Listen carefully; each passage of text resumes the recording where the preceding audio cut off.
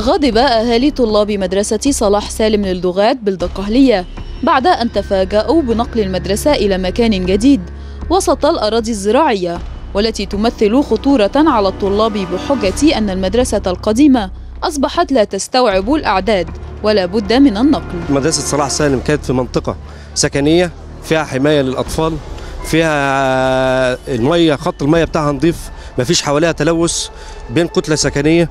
دلوقتي اتنقلت للمكان اللي حضراتكم شايفينه. في منطقة وسط الأراضي جنبها مصرف عام بتاع مركز ميناء النصر. قدامها مرك- مصرف تاني للأراضي بيتملى مية. حظيرة مواشي قدامك حضرتك مكان غير مهيأ للاستعمال الآدمي. أنا ليا بنت في ثانوي وبنت في تانية إعدادي. آمن عليها إزاي تيجي في منطقة زي دي؟ حضرتك شايف المقابر وصورت المقابر؟ قريبة جدا. صورت الطريق اللي يوصل لل... لل- لل- للمدرسة وشفتي قد إيه حجم الكارثة اللي إحنا فيها. تفتقد المدرسة الجديدة إلى المرافق والخدمات كما أن الطريق إليها غير ممهد وهي تقع وسط منطقة زراعية نائية تنتشر بها مقالب القمامة ما ينفعش إن أنا أجيب بنتي المسافة دي المسافة طويلة جدا والطفلة دي مريضة سرطان وعاملة عملية قلب. ما ينفعش البيئة دي تبقى ملائمة ليها. وفين الأمان؟ في تعابين في حشرات فين الأمن؟ مجلس الأمناء هنا ما بيسمع لناش اختاروه من نفسهم. وثلاث أرباعهم ما فيش لهم أولياء أمور في قلب آه، طلبة في قلب المدرسة. بناء على إيه حضرتك؟ بنيجي نتكلم باجي أتكلم يقول لي مش عاجبك انقليها انقلها ليه؟ طب أروح بيها فين؟ حضرتك امن أمن الإدارة جابنا قبل كده من شهر بسبب الموضوع ده عشان كلمتين كتبتهم على الفيس. بنقلوا المدرسة دي عشان يوفروا مكان لإدارة مدينة النصر التعليمية اللي واخدة حكم بالطرد. مدير الإدارة واخد سنة وكيل الوزارة واخد سنة.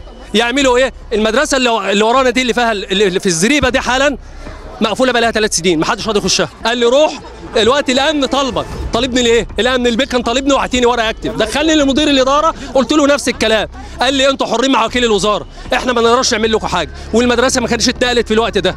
في خلسه من الزمن اجتمعت نظام الفساد اللي موجودة ونقلت المدرسة بسبب كده. إحنا لما جينا نطالب ان إحنا نوصل صوتنا لفوق وقفونا وجم ضربونا وهزقونا واعتدوا علينا. رحنا لمدير الإدارة قبل ما ناخد أي خطوة رفض إن هو يقابلنا. رجعوا قالوا هيجي الساعة 12 طب فين حقنا؟ إحنا عايزين صوتنا يوصل. أنا نفسي المدرسة ترجع تاني. على أي أساس؟ هم نقلوا المدرسة دي. إحنا جايين من المدينة. ينقلوها لنا في أرياف في وسط الغيطان.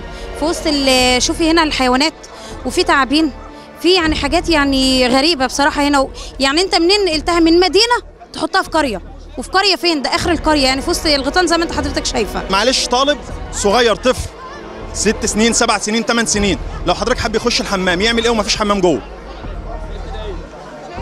مش هيعمل أي حاجة. طب إزاي؟ الشخص الكبير ممكن يستحمل وبيستحمل غصب عنه. طب ده طفل يعمل إيه؟ تيجي تكلمي سيادة المدير يقول لك معلش بعد إذنك ممكن تجيب كيس معاك وانت جاي ومناديل تواليت عايزة أروح المدرسة الأولانية كانت أحسن. المدرسة دي بتاعت التربة. أنا عايزة أروح مدرسة صلاح سالم. أنا بطلع من البوابة بلاقي تعابين هنا وبخاف. وبعد كده أنا أنا بقى لما باجي بقى ما بعرفش آكل. الدبان بتلم عليا. ماشي؟ و- و- وأنا قاعدة مكانه وقاعدة مع المس الدبان والنحل بتلموا عليا وبقوم من مكاني وبقعد أقول للمس وحاجة تانية الحمام مش على مزاجي مش بعرف أعمل حمام. وبعد إذنكم أنا اسمي روفان الغزال لو, لو ينفع توصلوا لي عمو السيسي لك الحق في توفر المناخ التعليمي صحي وآمن قبل التعليم. فعلى المسؤولين أن يجدوا حلا يحد من مخاوف الطلاب ومعاناتهم.